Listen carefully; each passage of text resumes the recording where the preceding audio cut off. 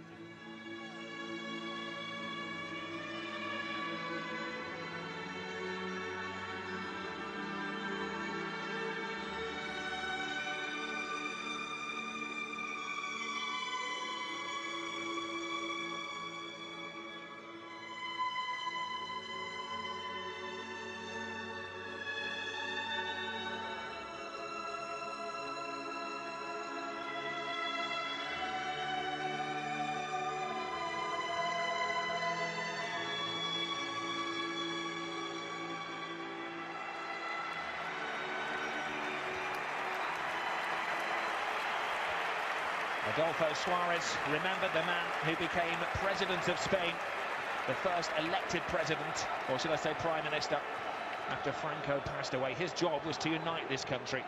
He did that reasonably well, apart from when it came to a Clasico evening.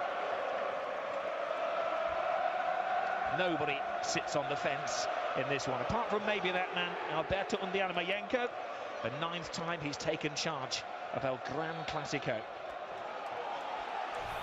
Well, he's the 168. That's Liga Classico. Of course, there's still a chance that Puyol may play in the cup final. But here is Benzema. Bearing down on goal. That's the man who scored that goal after 23 seconds a couple of years back. Well, outstretched leg here. That's that's the tackle. It's not a free kick for me. Outstretched leg of Gareth Bale nicks the ball just in the important time. This is the breakaway from Neymar, and there's the tight angle I was talking about, Rob. Difficult to beat. And, this is the chance for. He snatches out of his left foot, doesn't really hit him. They've had nine shutouts in 11 games here. Yeah, Rob, you're right. 42 goals for and only 10 conceded. Here's Lionel Messi. Here's Messi. On the blind side is Iniesta! Did he make that pay? Lightning strikes at the Bernabeu.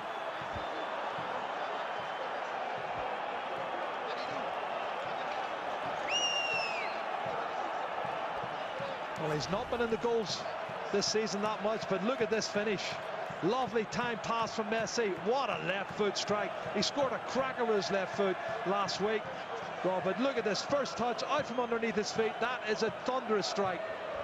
And no way Diego Lopez is going to stop that. What a goal. Well, he does specialise in scoring goals against Real Madrid. And that is his 50th goal of his career one that he's going to cherish for the rest of his life. And look at the relief of Martino. Meanwhile, the Spanish director has found another angle of the Ronaldo penalty claim. Well, it wasn't given then, it's not going to be given now, Rob. Well, we're looking at this break again. Look at the space now. I do feel that Carvajal's come in too much on the cover. Really has covered far too much in the central area, and that left a lot of space for Iniesta's first touch and the thunderous strike. Narla-coloured boots for the occasion. Gareth Bale deep into Barca territory, trying to feed it to Benzema. There's a foul off the ball. Benzema continues. no strength in the shot. Yeah, good break there from Gareth Bale. Showed that athleticism and the turn of pace through the middle and then fed the ball well to Benzema. Who in the end gets the, the shot in, but it's... Di Maria better feet this time. Swiftly into the area. Lets it back. Benzema! Fluffs his lines on the big stage. Well, that was nothing short of sensational, the run from that man, Di Maria. What a run. He's gone past three or four Barcelona players like they're standing still. And he tees it up so nicely here for Karim Benzema. What a, a, a poor finish that is from a top striker. You've got to put them away. That's a fabulous chance. One thing I'll say about this Real Madrid side is they do create opportunities, Rob. Many years because Barcelona control the ball. Look at the control from Messi. Bang on side. Can he finish it? No. Lionel Messi could. Wow. What a great chance for the little man to increase the lead. And there's a lot of people appealing for offside. Appealing for offside, and he's not as the ball's played. You can see Marcelo steps up. It's a crossover. Really tough one beat them here this season. Oh, look at Messi, this. great ball. Neymar takes it in his stride, has to steady himself. Stopped once by Pepe, and then Pepe was uh, attacked. Wrong side though before the build-up, Rob. I'll have to say, Marcelo was wrong side. Look, you can see Neymar's got five yards on him, and he really has to hit the turbo to get back in again. Um, a bit fortunate, I think, though.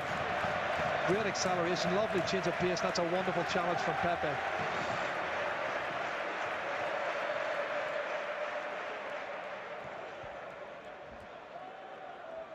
We've seen many videos where the slices have gone this week regarding the transfer. Santos apparently only got 14 million of it. Bale. That's the second step. Bale.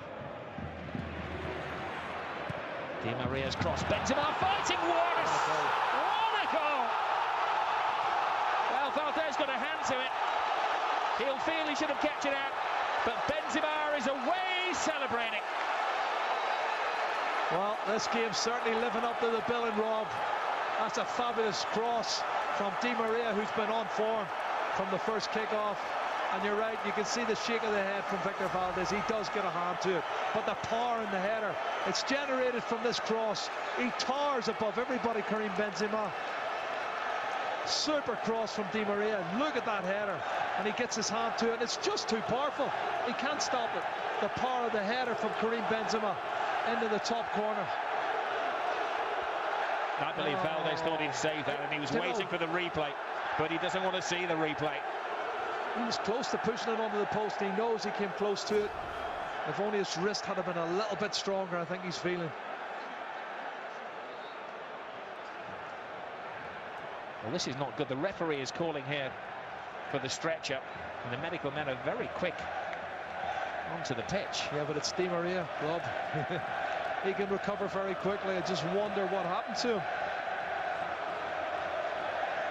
And the header was a much more difficult chance than the one that Di Maria created from earlier. It was very concerning. The rest of his teammates have headed back into their own half of the field after celebrating the goal, but Di Maria lies down there. Well, he's starting to set up, which is encouraging.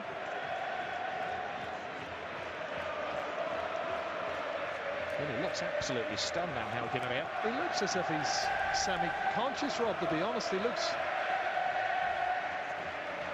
They sort of celebrated, everybody goes away, and he doubles over. And then he goes down.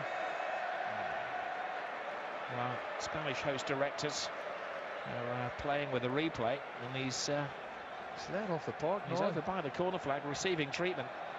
Real spectacle of football tonight. Entertaining, enthralling, always exciting. Forward for the game gone. Di Maria has space, cuts it in. Benzema! He's oh, second! My goodness. Di Maria got off his sick bed to create that one, and it was a Benzema blast. Well, he might have missed the sitter in the first seven or eight minutes, Karim Benzema, but he's made up for it since. And what a game! Di Maria's haven't done this left-hand side, Rob. He is on fire. I don't know what sort of medicine the physios gave him on the touchline, but he's come back again. Bigger and better. Look at this. Lovely run, plenty of space, head up, cuts it in, chest control, and then bang, back of the net. Another wonderful piece of skill from Di Maria and Karim Benzema. Fabulous goal.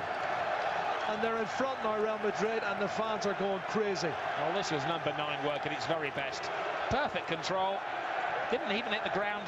The perfect volley. Uh, Rob, it's quality. See the control on his thigh. He's actually turning, controlling it, setting it up in the right angle, just to volley it in the back of the net. And look at Ancelotti. How much did he enjoy that? Ball was too big for Mascherano. He was trying to get ahead on it in front of Karim Benzema. I just felt he should have been a little bit. Messi tries to quicken the game. Bounces off Ramos, plays it into Neymar. Slow to react, but Messi's not. Oh, little Messi individually brings Barcelona back into the game. Uh, oh, oh, oh, oh, oh, there's a problem. Incident off the ball, Rob. And the referee Pepe. instinctively reaches for the card. And it had been a rather friendly Clasico until that point.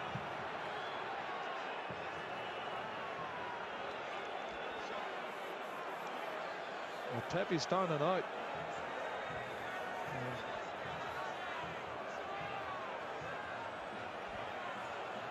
Well, it all kicked off as uh, Barcelona headed away to celebrate. And the referee is going to show the yellow card once Pepe comes round to his senses. Well, it, it says, is it says Fabregas? It is, it says both Pepe, of them. Both down. It's something and nothing, was it? Well, they're both play acting, if you're asking me. Somebody going to get the ball out of the box and we've got about the quality of the goal and Messi's great first touch. He played the little one-two, got the rebound, stuck in the bottom corner of the net, which is what he does best. And Lionel Messi, 32 goals this season, 19 in the league. And that's a big one, a massive goal for Barcelona to bring him back. Pure entertainment. Classic, classico. Oh, Carvajal. Half stop by Alba, but he won't go away. The line. Benzema. Oh my goodness. He scored two. He could have had five. Wow. Well, he's had one cleared off the line by Gerard Piqué. This one is so close to the far post. It's untrue. We're talking a couple of inches wide of the far post. And Victor Valdés is looking on. And this is the build up to the goal. Messi, a little bit of good luck there. There's a tackle. It's actually I think Carvajal who nicks the ball away, but it goes straight to the feet of Messi, and Messi comes in and sticks it in the bottom corner. Our Spanish director showing us the show of petulance as the half-time whistle goes. Well, it has lived up to the billing. And Iniesta giving Barcelona the lead, then Benzema with a brace, then Lionel Messi took it upon himself. Oh, look at this. Great run from Gareth Bale. Bale to Benzema! What a Brilliant stop by Valdés. Danger hasn't gone away. Cristiano Ronaldo. Di Maria over the head of Benzema. Bale comes flying in. But the referee saw that as a foul.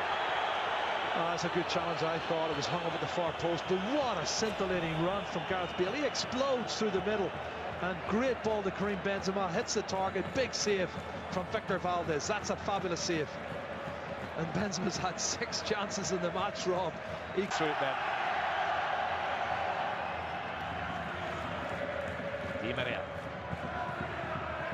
Now Ronaldo. Into the area where they have to be careful. He's down. It's a penalty. As soon as he crossed the white line, the alarms were flashing.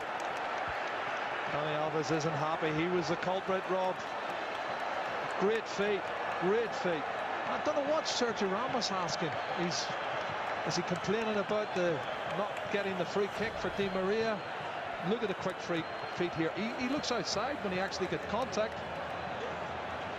Well, he clearly thinks that it was a goal-scoring opportunity and he would want that to be a red card. But I think he's maybe stretching things, Gerry. I think he is stretching things. And I'll tell you, uh, this is outside the box. There, there it is. It's at least six inches outside the box and he falls in.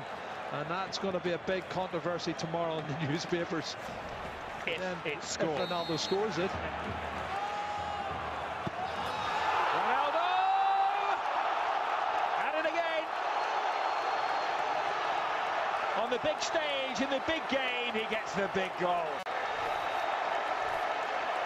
26 in the league, Rob. 42 goals for the season. A massive, massive goal. Oh. Super goal. Great strike. Keeper guesses the right way, but Cristiano puts enough pace and power and accuracy into that bottom left-hand corner. And Victor Valdés can do nothing about it. But it's all going to be about the controversy. Was it a penalty or not? Because for me, he was contacted outside the penalty area. Well, it was the perfect penalty. Messi scored, Ronaldo scored. Five goals in the game. Only 10 minutes gone in the second half. Well, the front three now have got 79 goals between them. Gareth Bale, Karim Benzema and Cristiano Ronaldo have scored but free kicks given and Ronaldo's on the ball. Ronaldo cuts it across. Benzema regains a little lovely back flick. Bale, and it needed saving.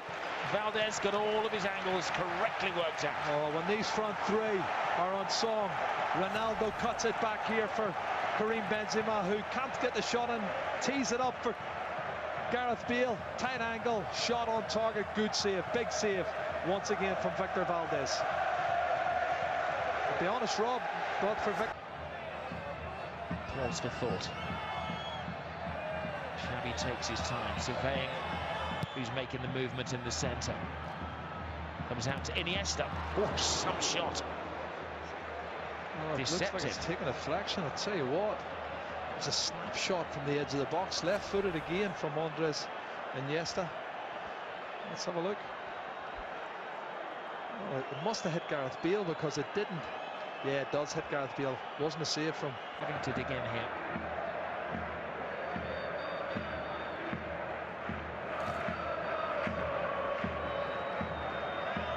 Messi. Good ball. Perfect pass. Neymar. Big chance. Taken down. And that's a penalty. The red. And a red. Well, the law says it has to be a clear goal scoring opportunity. Some may say he was going away from goal, but even then he had a chance of scoring. And Sergio Ramos, who has a pretty big rap sheet, gets his 19th red career, red card of his career. Well, is he offside, Rob? Not just leaning offside. That's the question, and he doesn't need to pull him in. Marcelo was maybe even just still a cover player. It's a bit harsh, the red card, I think.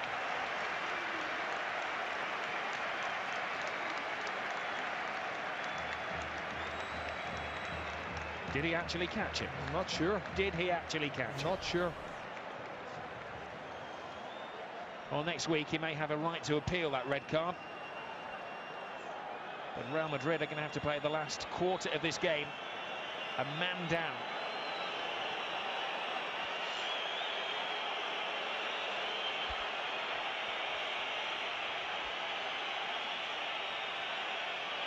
Well, at one end, Cristiano Ronaldo tucked a penalty away. And now the world's eyes are watching Messi. Wow. And Messi does what Ronaldo did and makes it 3-3. Very emphatic finish that one. Steady run up and hammered it with the left foot. Well, what a game we've got now. 3-3. And I don't think he does touch him, Rob. He doesn't look as if he makes that much contact, if any contact at all. Well, he does it catch his left leg. the slight touch on the left, left leg. Yep. That's where he does make the contact, and that's why he goes down.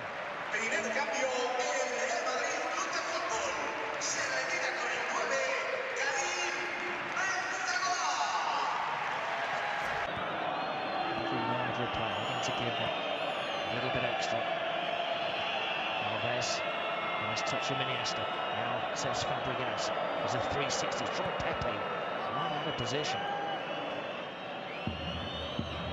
Flicked. Barcelona playing games here with Real Madrid. Oh. this crashes off the post, falls to Pedro, scrambled away by Rafael Varane. What a strike from Dani Alves outside the box, Rob. You can see it's teed up here by Messi. One touch, bang, bottom right hand post, straight out again. How lucky was that? Lucky for Real Madrid, unlucky for Dani Alves and Barcelona. Back the last time they lost was against Barcelona.